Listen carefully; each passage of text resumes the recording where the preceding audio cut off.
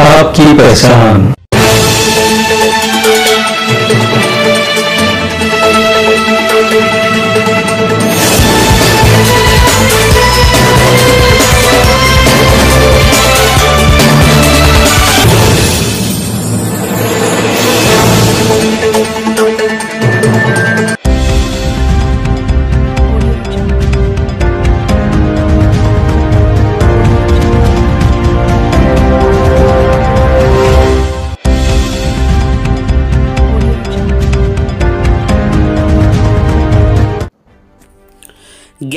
नवंबर national education day, यानी हिंदुस्तान के पहले वज़ीर तालीम मौलाना अबुल कलाम आज़ाद की यौम पैदाइश के मौके पर खड़गपुर के भवानीपुर में एक खड़गपुर टाउन माइनॉरिटी ऑफ़िस का इफ्तिताह मेहमान खसूसी खड़गपुर के सदर एमएलए प्रदीप सरकार के हाथों हुआ।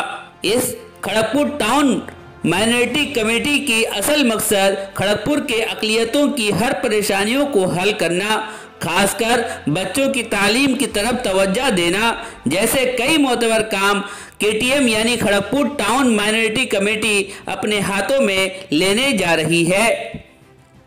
इस इफ्तिताही प्रोग्राम में मेहमान एजाजी की हैसियत से खड़गपुर म्यूनसिपालिटी के वाइस चेयरमैन शेख हनीफ और मौलाना अमानुल्ला अंसारी मौजूद रहे।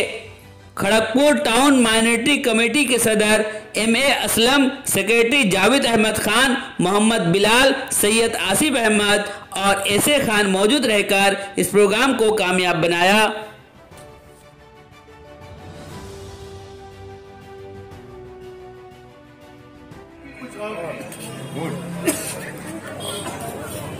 हमारे हुकूमत मगरबी बंगाल ने जब बंगाल का बागडोर संभाला है।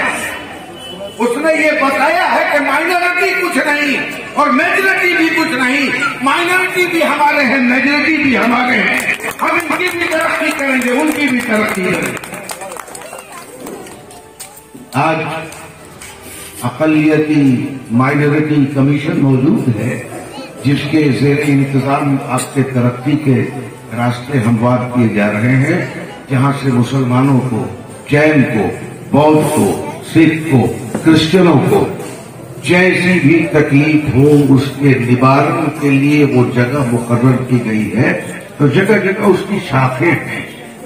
लेकिन अफसोस की बात है कि माइनॉरिटी अपने हक से वाकिफ नहीं।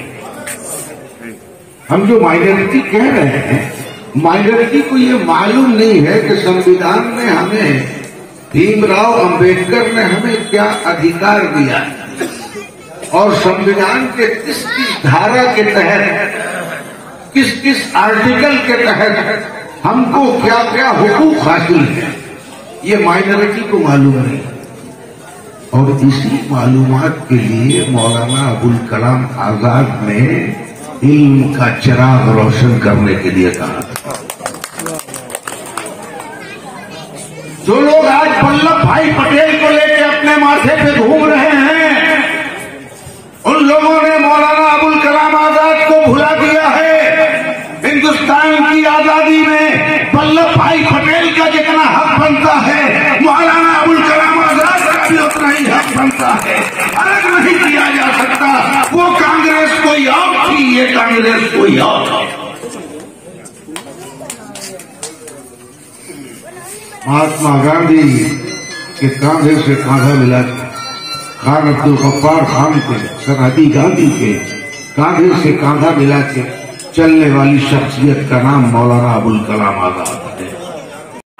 खड़गपुर शहर में आप जो उन्नति का लहर देख रहे हैं, ये लहर आपको एक ऐसा व्यक्ति दिया दिया गया है कि जो राजनीति के ताल्लुकात नहीं रखते थे। समाज में सोशल वर्क करते थे। खेल से उनको लगाव था।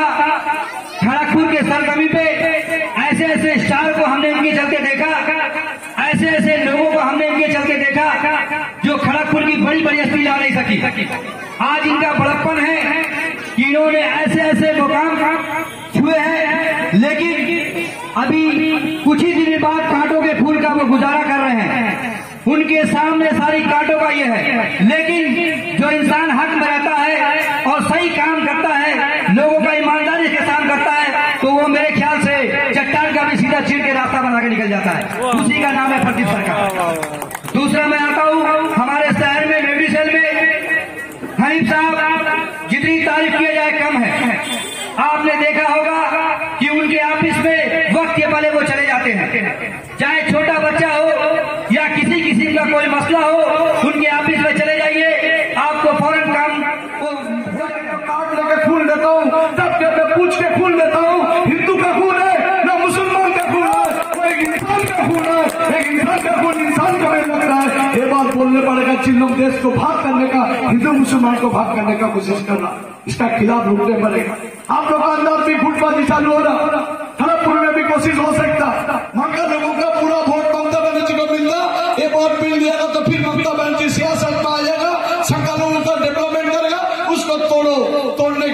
नाम में और राजनीतिक संस्था दे के इलेक्शन में उतार देना। इलेक्शन में हम जब राजनीति नहीं करेगा तो हमको इलेक्शन का ज़रूरत है। अगर सेवा करने का ज़रूरत है तो मैं माइनॉरिटी फोरम का नाम में भी कर सकता हूँ। मैं गरीब नवाज़ समाज कर सकता हूँ। मैं कोई भी माध्यम से कर सकता हूँ। आपको राजनीति में जाने का क्या ज़रूरत है? अगर राजनीति में जाना है तो जो पार्टी के लिए कर रहा डायरेक्ट वो पार्टी के उतरो। हम लोग रास्ता में तुमको समझ लेगा पीछे से मत करो ये सोचने पड़ेगा आप लोगों से मैं अनुरोध करूँगा ये विभाजन मत करिए। आज आप लोगों को खराब समय में अगर कोई साथ नहीं दिया ममता बनर्जी है। आज बंगाल को आज खराब बंगाल में यूपी में एक बच्चा का जो धर्षण होता हाथरस में जो अगर आज के बड़ा बड़ा बात बोलता धर्म का बात बोलता बिहार में जाके जब मुंगेर में दुर्गा पूजा होता वही दुर्गा पूजा में हिंदू का ऊपर लाठी चार्ज करता है और बंगाल में आके बोलता हम लोग पूजा करता है। उन लोग कुछ नहीं करता। उन लोग का एक ही काम है उन लोग का एक ही धर्म है तुमसे हमसे लड़ा दो उसका मज़ा उन लोग देगा। लेकिन हम लोग बंगाल में भी होने नहीं देगा, खड़ा करता हूँ कि उन्होंने अपना कीमती वक्त हमें दिया। इसीलिए दोस्तों, मैं अपना ज़्यादा वक्त नहीं लेते हुए हमारे जो यहाँ पर कुछ कमेटी के मेंबर हैं, मैं उनसे भी गुजारिश करूँगा। फिर हमारे जो स्पेशल गेस्ट आए हुए हैं आप उनसे उनकी बातें सुनेगा, आपको चंद मिनट लूँगा मैं अभी जनाब आरिफ भाई से गुजारिश करूँगा कि वो आकर अपनी चंद बातें हमारी कमेटी के मेरा नाम सैयद तौसीफ अहमद है और मैं इस माइनॉरिटी कमेटी का मेंबर हूँ। इसमें हमारा दो मोटिव है। एक, जो हालात दौर है, इसको मद्देनज़र रखते हुए हम लोग को ये रियलाइज़ हुआ कि आज के ज़माने में लोगों को अपने हक और अपनी ज़रूरत को सही समझने और सही चीज़ से, के ज़रिए अदायगी के लिए हमारे पास कोई रहबर होना चाहिए, जिसके लिए यहाँ के जो जाने माने शख्स है, जावेद अहमद खान साहब, ये और कुछ जिम्मेदारान मेंबर के साथ मिलकर खड़गपुर टाउन माइनॉरिटी का नींव रखे हैं।